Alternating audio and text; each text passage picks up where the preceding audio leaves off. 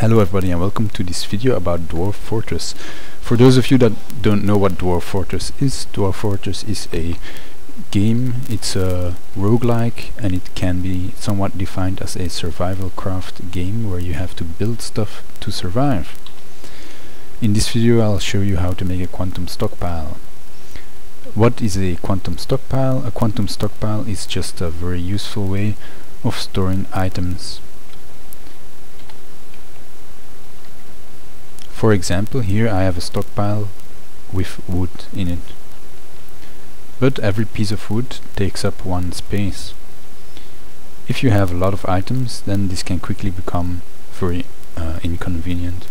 So what we are going to do is we're going to create a handy device that allows us to store an unlimited amount of items in only one space. What you have to do is you have to build a track stop but now you have to pay close attention. Before you uh, execute the building command you have to change the direction to dump the item. In this case I'll be dumping it south because I'm going to build another stockpile right below.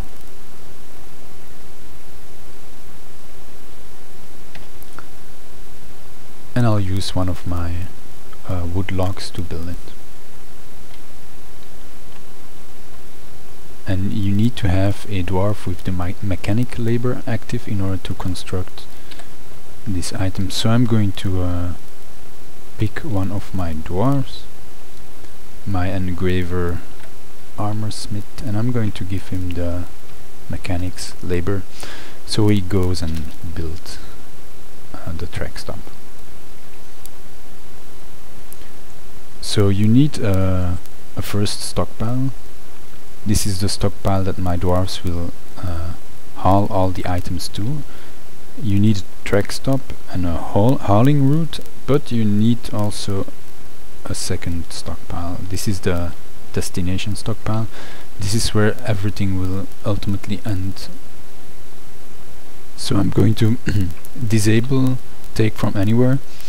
This is not really necessary, but it's just uh, well. Uh, it's a little bit better to do it like this. Uh, so it will only take from links. So if you link it to another stockpile it will only take from that stockpile. That means that there will be no job uh, labors generated by this stockpile. So dwarves will never ever ever go get wood to put on this tile. So the track stop has been built. So what you have to do now is press H for hauling and then R to create a new route. Once you have created a new route, you can give it a nickname.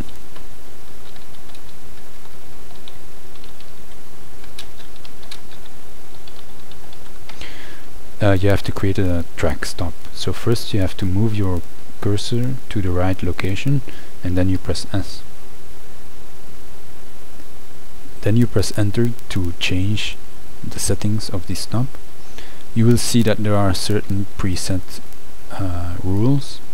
You just press X to eliminate these rules. Then you press enter to designate the desired items. In this case I only need wood. So I'm going to enable the wood. And then you have to uh, press escape to go back to the previous menu then you have to assign a vehicle. Press a V and then you choose the vehicle in this case a minecart. And now one of my dwarfs will grab the minecart put it on the location and then normally this uh, I forgot one more thing. So there is one more thing that we have to do in order to make this work is we have to link a stockpile you can see that you can uh, set a new stockpile link by pressing S. So we're going to use the cursor over our uh, first stockpile of wood and then I'm going to press S and this will create a stockpile link and now my dwarfs will take everything from this stockpile put it into the minecart and then the track stop will dump it all on this tile. And now we have successfully created a quantum stockpile. Now because this stockpile is empty now this creates uh, new jobs for my other dwarves if there is wood but there is currently only three pieces of wood. So they are going to fetch this this wood put it into the stockpile and then it's going to create a command to put it in the minecart and then it's gonna dump it and if you look here you can have essentially an unlimited amount of items on one tile. I'm going to uh, build a second quantum stockpile just to demonstrate this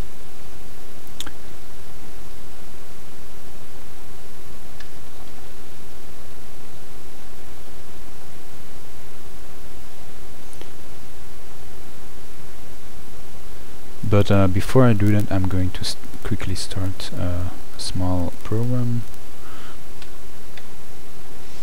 So you can see what buttons I'm pressing. So um, build a track stop. I'm gonna build it right here. Choose the item that you want to use. Some blocks wait for the mechanic to build it. There oh actually it was a carpenter. Doesn't matter. Uh, and then we're going to build a oh no. We're going to build a stockpile by pressing P and then this is going to be a bars stockpile. But I'm going to uh, make it a custom stockpile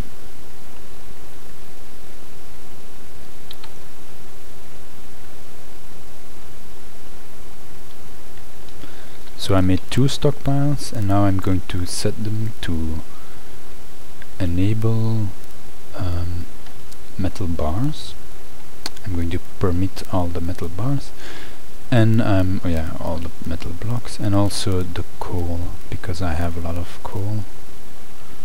And that's actually what I want to dump so I think that should be okay.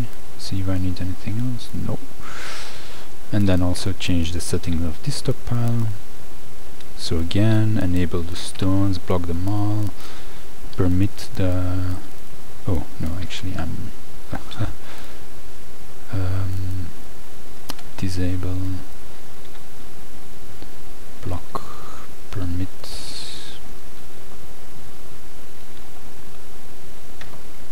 And there we go. Oh and one more thing. Take from links only and now um, they will put some of the coal in that stockpile. And then I'm going to create another uh, hauling route with uh, a stop right there. And I'm gonna name it uh, my bar stockpile. I'm gonna change the settings to take from this stockpile and I'm gonna allow him to take all the the bars and blocks. I don't have to specify it because he will only take the items from that stockpile and I already specified the items that I want in that stockpile so. And I'll use the second minecart and if everything goes well you will see that my dwarves will now store all the oh. Uh, yeah I, I made a mistake so it's good because you can learn from my mistake. The thing that I did wrong I'm going to uh, just disable everything for a moment. But what have I done is um, the, the track stop that I built I forgot to set it to dump. So the items don't get dumped. So I have to remove. I'll just have to remove the track stop and build a new one. And this time I'll put it to dump south.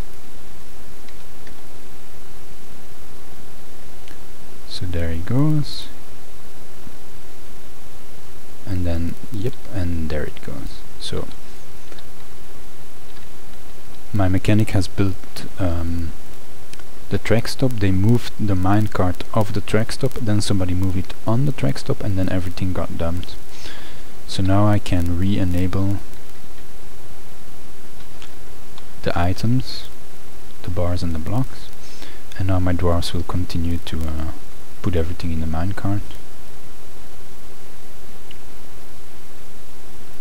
Now I notice that I have some more coal in my other stockpile, coke actually. So what I'm gonna do is I'm simply going to create another link. So a new, um, a new stockpile link.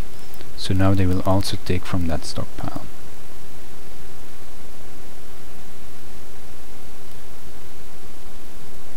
So that is how you build a quantum stockpile. I hope this video was useful for you so you can use this in your own fortress. Keep in mind that this might change in future uh, future versions of the games but I find it quite convenient so I hope they don't change this. Good luck in your game and see you next time.